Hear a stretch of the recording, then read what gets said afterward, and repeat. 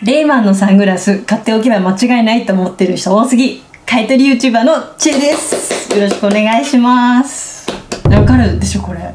まあね私もそうなんですけど迷ったらなんかレイバーだと間違いないかなって私も思うんで。本当ですか？これいいやつなんですよ。これすっごい気に入ってんの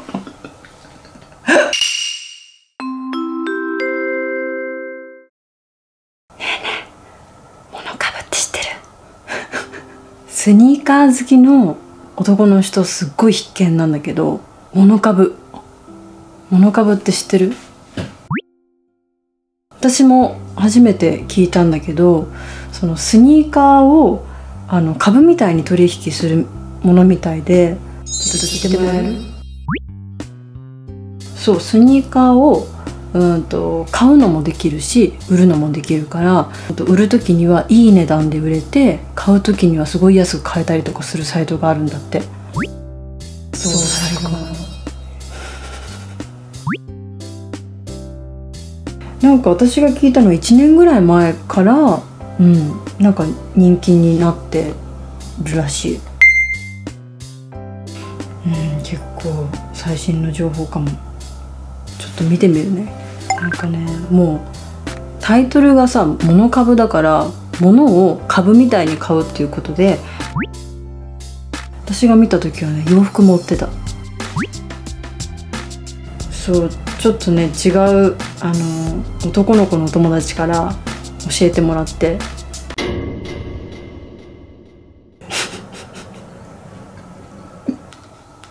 まず商品をこうタップすると今だと2021年の2月1日から日ごとに相場の上がり下がりっていうのがチャートになって出てるねこれね。今は2月の1日から見てて2月の4日。で今日の方がすごい下がってるから買い時。うん。なんか仕組みを聞いたんだけど売る人と買う人まあ個人個人なんだけど間にそのこの会社物株が入ってるのね。この間その個人個人で取引するメルカリだと結構偽物とか多いっていう話を動画で上げたと思うんだけどこれは間に企業さんが入ってるから個人個人なんだけども必ずこう企業を通してから発送されるから安心なんだって。うんなんかこれね新品しか売れないみたいで新品と本物しか売れないんだって。まずね商品がこうやって1個あったら自分の持ってるサイズを選ぶ。例えば2 6センチだとしたら2 6センチ。それで売るっていうボタンを押すとあの売れる金額っていうのがすぐ出てきてこれだと2万8001円で売れるみたい。でその後にもしまた買いたい側の人が現れたらその商品を物株側に送るんだって。で送って偽物本物かの査定して初めてそこで成立してその物株側が購入者側に送るんだって。うん、だからもしその時点で偽物だったら取引はキャンセルになるみたいでしかもその物株が安心なのは偽物本物とか見分ける心眼のこう心眼力があるみたいで心眼鑑定をして安心保証してるみたい。送った時に必ずこうタグがついてるみたいでそれが本物の印みたい。全然案件じゃない。全然案件じゃなくてちゃんと教えてあげようと思って。いえいえ。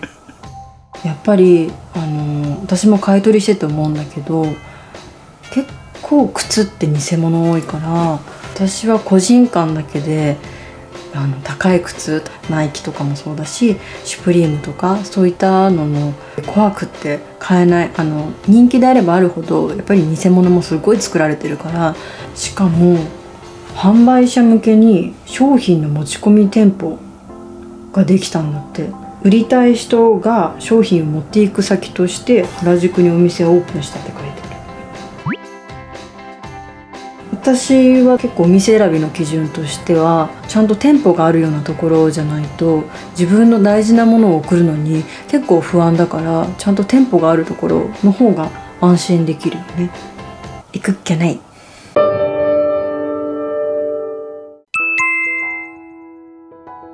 とちょっと人気のオフホワイトちょっと調べてみるね。なんかねタグがすごい特徴的なうんそうカニについてるやつみたいな。ナイキとオフホワイトのコラボなんだけど、うん、2020年去年の10月から12月まで出てるんだけどこれずっと上がってるね。右肩上がりってやつ比べてみると2800円ぐらい金額が上がってる。出た。え何これ？すごい。これ今ディオールとナイキがコラボしてるんだけどすっごい話題になっててこのシュッとしたこのナイキの部分がディオールのとろった柄になってるんだけどこれもともと25万円の靴がなんと去年の7月には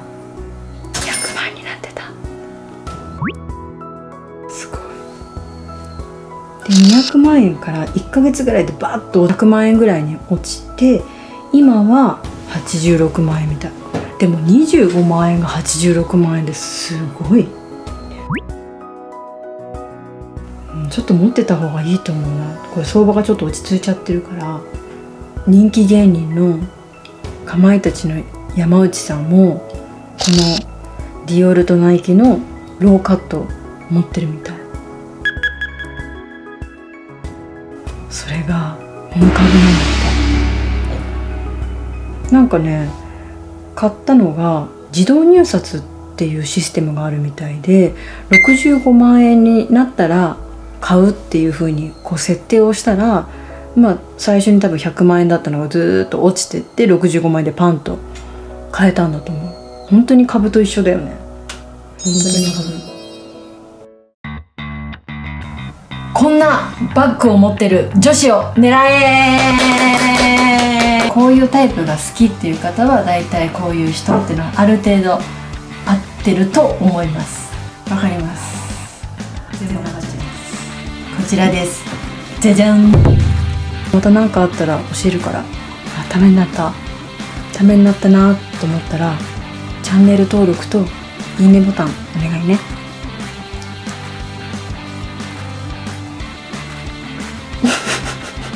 っていう回。